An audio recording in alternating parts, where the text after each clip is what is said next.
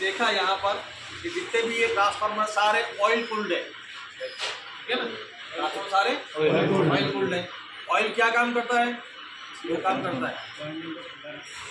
कौन कौन से? एक तो ठंडा रखने का और दूसरा इंसुलेशन देने का। दो काम करता है ट्रांसफार्मर ऑयल और वो जो ट्रांसफार्मर ऑयल है उसकी सुरक्षा करना बहुत ज़्यादा ज़रूरी है। अगर उसमें कोई मॉइस्चर आ गया नमी आ गई तो बाइंडिंग खराब। ठीक है?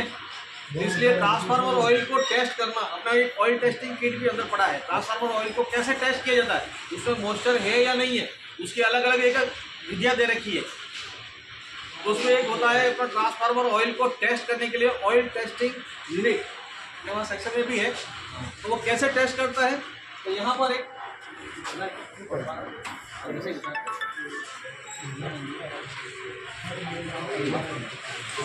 ये ये आपने देखा इसमें ट्रांसफार्मर ऑयल सैंपल लेकर के इसमें रखा हुआ है। ठीक है ना? एक ट्रांसफार्मर का जो ऑयल का सैंपल उसमें से एक डिब्बे में लाके इस पॉट के अंदर रख दिया। यहाँ पर ये दो इलेक्ट्रोड है। ठीक है? अपन इन दोनों में हाई वोल्टेज देंगे।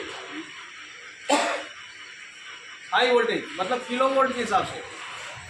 पाँच दस या पंद्रह किलो वोल्ट बीस किलो वोल्ट ऐसे। किलो वोल्ट पंद्रह हज़ार बीस हज़ार वोल्ट देंगे। और ऐसे बढ़ाते हुए देखेंगे कि कितने वोल्टेज तक ये सहन कर सकता है उसके बाद एक स्टेज ऐसी आएगी जिसमें ये इसकी दूरी पर भी ये शॉर्ट होना शुरू हो जाता है।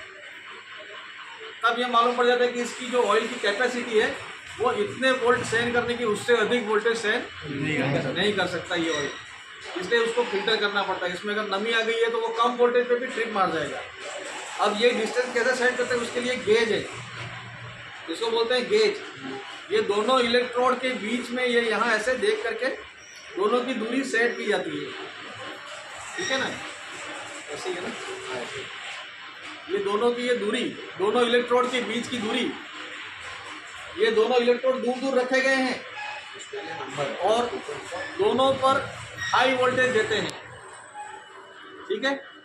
और वो उतने वोल्टेज बढ़ाते जाते हैं, बढ़ाते जाते हैं कि जब तक इन दोनों के बीच में शॉर्ट सर्किट होना शुरू नहीं हो जाए, वो उस तेल की कैपेसिटी कहलाती है वो कहलाती है dielectric strength first year में पढ़ा होगा डाई इलेक्ट्रिक स्ट्रेंथ क्या होती है?